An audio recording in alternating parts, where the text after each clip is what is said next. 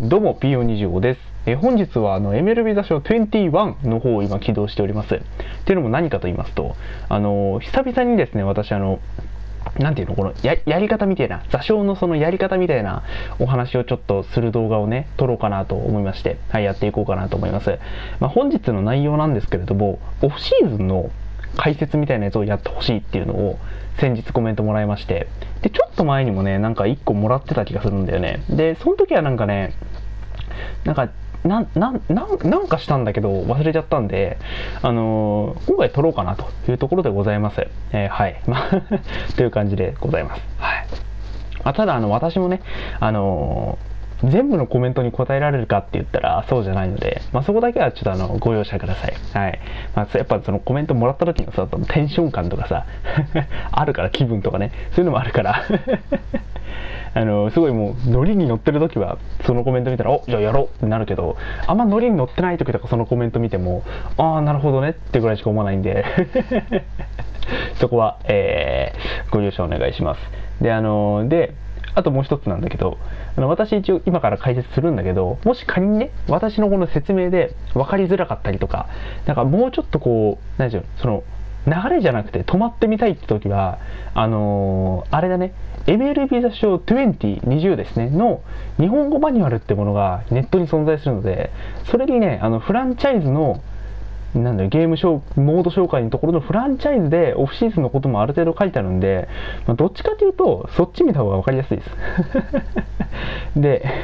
まあ、なんですけど、今回やっていこうかなというところでございます。では、早速やっていきましょう。まず、オフシーズンなんですけれども、その、なんて言うんでしょうね、こう、まず、な、なんて言うんだろう、そのなんか特別なことはあんまやらないというか、あの、同じことを5回繰り返すんですね、オフシーズンって。うん。まあ、座礁のね、座礁のオフシーズンは同じことを5回繰り返すんですけど、まあ、それなので、その、全部今回オフシーズンやるんじゃなくて、その、一つ一つのこの下に今出てる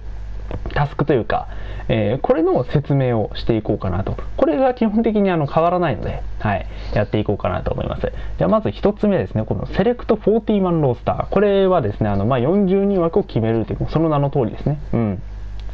あのーなぜこれをするかっていうと、そのルール5ドラフト対策ですね。はい。まあ、メジャーにはその買い殺しを防ぐためにその42枠に入っていない選手が対象となるドラフトがございまして、まあ、それをのその対象を自分たちで決めるって感じですかね。うん。なんだろう、だからトッププロスペクトとかは、えールール5で出したくないからみたいな感じで40人枠にこの時入れ、この時だけ入れたりっていうのもしたりします。はい。まあ、そんな感じのやつをするのが40マンロースター。この2つ目のオファーサラリーアービテンション。これはあの年俸調停ってやつですね。はい。まあこれはね、結構個人的にもね、そのまだあんまり完全理解はしないんですけど、まあ、こんな感じで、年俸調停権を持った選手たちが、えー、まあ対象となりますね。年俸調停権はサービスタイムが3からなんですけれども、例えばマックスフリーで3.148というところで、えー、この ARB って書いてあるところ、これがあの、あれですね、年俸調停の期間になります。だからあと、えー、マックスフリードは今回を入れて3回、えー、年俸調停の権利があるというところでございます。で、これなんですけど、まず、じゃあどうやっていくかっていうと、この、まずここを押して、このメンバーがいるじゃないですか。このまま放置しとくと、ノンテンダー FA になっちゃう、なって、その FA 市場に出ちゃうんですよ。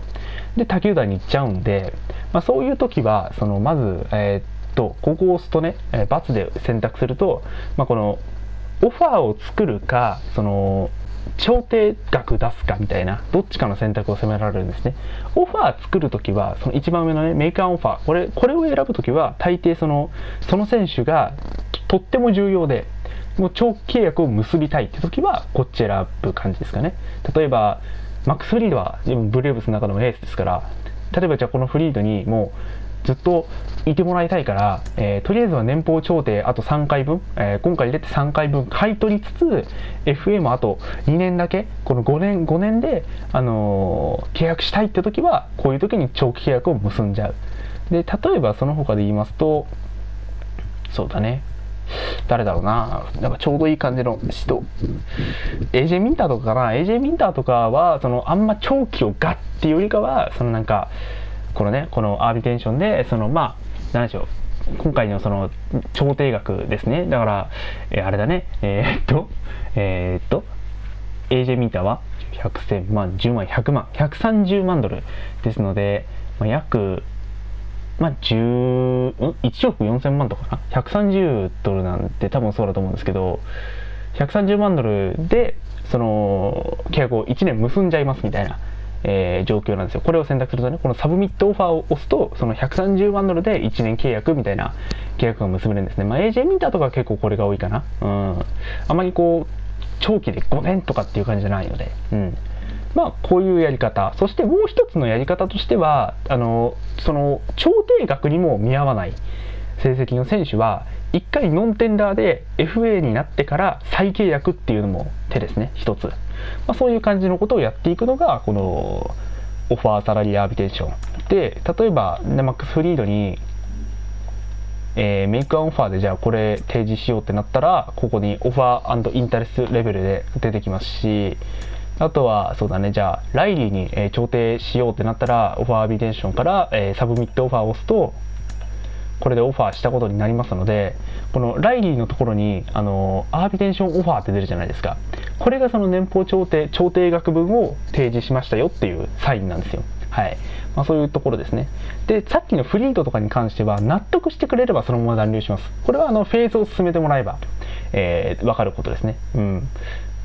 結構ね、早い段階でノンテンダー決まっちゃうんで、まあ、それについては、あの、飛ばしてるうちに警告来るので、まあ、分かりやすいかなと思いますけどもね。続いてこちら、あの、 Tender Contract。これはあれですね、俗に言う契約更改です。はい。あの、まだ年俸調停権を持ってない、えー、サービスタイムが1年、2年っていう選手たちを、えー、まあ、契約公開しようみたいな、えー、その選手たちはその年俸を交渉する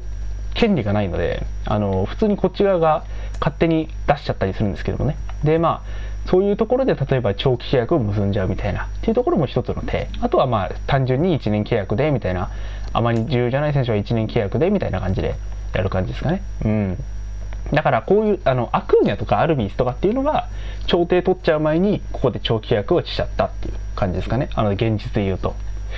えー、と、あとはスペンサー・ストライダーとかもそうかな。先日やった。あとマイケル・ハリスとかは結構ここの段階ですでに年俸調停全部買い取っちゃう形で、あの、ちょっと FA のちょっと先の年まで長期契約って感じのことをできるのがここかな。